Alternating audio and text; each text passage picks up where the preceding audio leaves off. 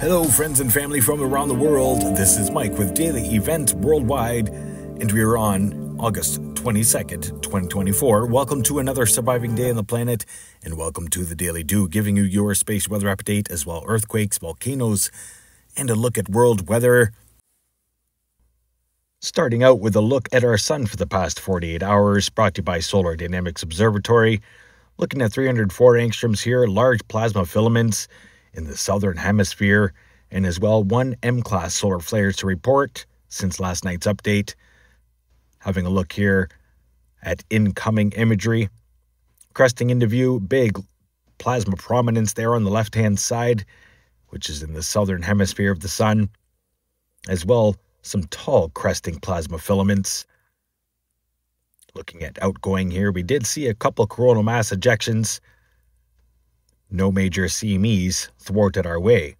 Going through a quiet time for solar storms, considering what we've seen the past few weeks. Having a quick look here at the M class solar flare and those large plasma filaments. Some backside activity as well. Multispectrum here.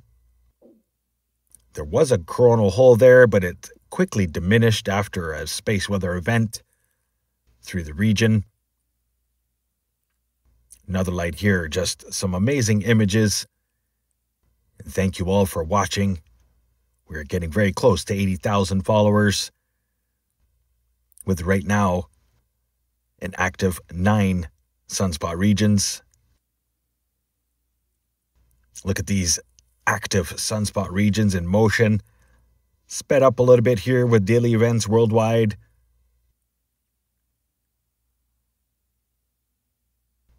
Current space weather conditions we are under R2, moderate radio blackout impacts expected, limited blackout of high frequency radio communication. Solar winds are coming in at 382 kilometers per second right now. Solar X ray flux showing here, mostly in the C range, but did pop up strong M class solar flare last night, and as well a moderate one today. Solar proton flux is low, geomagnetic activity is low as well, sitting at just under KP2. Space Weather Prediction Center updating their spiral today. No new space weather events, minor geomagnetic instability tonight and into tomorrow and then again 25th into the 26th. Stay tuned for updated spirals as space weather events happen. Looking at ISWA space prediction spiral here, showing Mercury, the little orange planet there going in between us, finishing its retrograde. Most recent CME being documented from the cresting limb, not in an Earth directed fashion but did produce quite a coronal mass ejection. Images here with LASCO 2. There's also a little bit of imagery missing just before the large CME. We will slow it down.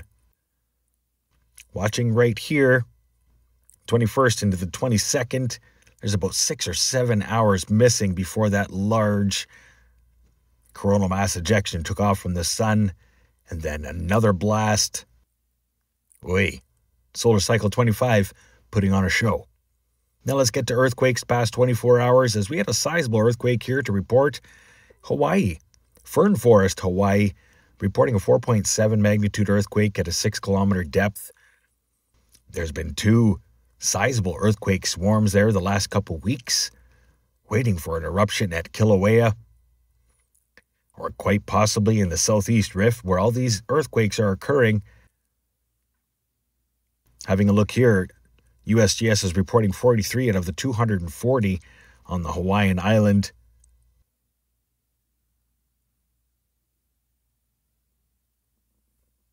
So, not quite a swarm just yet, but that earthquake on top of Mauna Loa, right on top of Mauna Loa in the caldera, is a little bit concerning, everybody. 240 earthquakes in the last 24 hours, brought to you by USGS overlooking across North American soil. Notable earthquake here, 2.4, Hagan, Georgia, as well Missouri. Minor seismicity continues, but no swarms through the California state. Carrying on here, largest earthquake today, 5.4 earthquake, actually reported last night, Russia. Deepest earthquake last 24 hours, 361 kilometer depth, 4.9 Fiji. As well, just recently, Isangel, 4.7. And then today, these earthquakes were coinciding with each other 5.1, 5.1, and then 5.0 going back and forth. As well, notable activity up into the Philippines. Notable SO2 plume being forecasted coming out of that region. So, definitely a volcanic eruption. Central America here through Nicaragua, seismicity continues. That's a little bit notable. It's been continuing all week. Cotaruse, Peru, 4.4 as well. Bolivia with a 4.4, 208 kilometer depth though. Scotia Plate, South Sandwich Islands, 4.7. 4.4 earthquake there. Uh, Eastern Iran, and as well China with a 5.2 magnitude earthquake right north of Tibetan Plateau quick glance here at the last seven days for Shakers around the world. Take a quick moment to thank you all for watching. Please don't forget to give a thumbs up, let YouTube know that you enjoy these updates. Share with a friend, and YouTube will share everywhere else. Let's grow to 80,000 followers together, staying aware and prepared. If you live in an earthquake prone zone, please just have a plan and be ready and know what to do during a very large earthquake and possible tsunami event.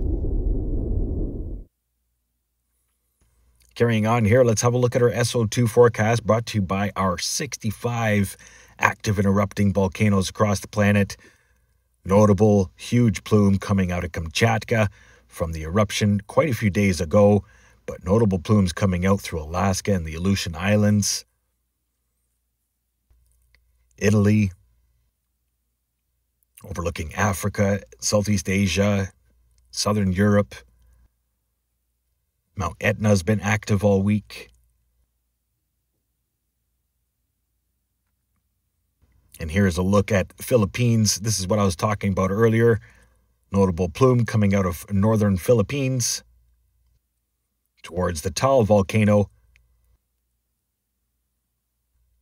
And as well, big plumes here scooting across the southern regions of Australia. Not sure where all of this SO2 is coming from, but I do believe that it's coming from the Heard volcano in the South Indian Ocean. Look at the southern hemisphere right now, being inundated by sulfur dioxide emissions from the active and erupting 65 volcanoes across the planet. Big plume there south of Australia, and as well some very strong winds. Stay tuned for the weather forecast coming up. Some interesting details for Australia. Still an interesting plume coming out of the central Atlantic as well. Not sure where that came from. No updates yet through the North Atlantic volcanic regions. Now let's have a look at weather here as we've got extreme weather forecast for Saskatchewan, Manitoba, and Northern Ontario big lows moving through this week. Long range forecast shows big high pressure ridge keeping things warm in the east and most of the systems coming out of the west still being blocked by a high pressure ridge off the coast of Washington, California.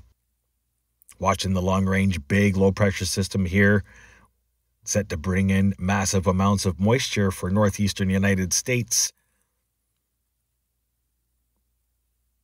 overlooking Europe and Africa. Tropical storm Ernesto making landfall, scooting across both Ireland and the United Kingdom up into Norway, and then probably wrapping itself around the North Pole to circle around our planet again. Some strong systems coming through out of the North Atlantic, as well as Central Africa. Some pretty big systems here developing long range forecast we could see some doozies here forming off the coast of Africa in the remaining weeks of this Atlantic hurricane season. Stay tuned. Daily updates with daily events worldwide. Hit the notification bell set to all so you don't miss an update. Carrying on here, heavy rains and as well as strong systems and winds for eastern India and as well typhoon for Japan as that makes landfall next Tuesday into Wednesday. Western India as well, low pressure system hanging around. Australia, New Zealand. Watch for some low pressure systems to scoot across Tasmania and over into New Zealand for Saturday into Sunday. Look at the size of these systems here south of you in the southern hemisphere right now. A very windy event. Some strong winds, heavy rains, and I'm pretty sure some record cold temperatures are going to be associated with all of these systems scooting through. If you haven't seen what our southern polar vortex looks like just yet, have a look at the last couple minutes of last night's video. Give you an update on what our upper level winds are looking like right now and what we could be seeing for this year, 2024 2025 winter.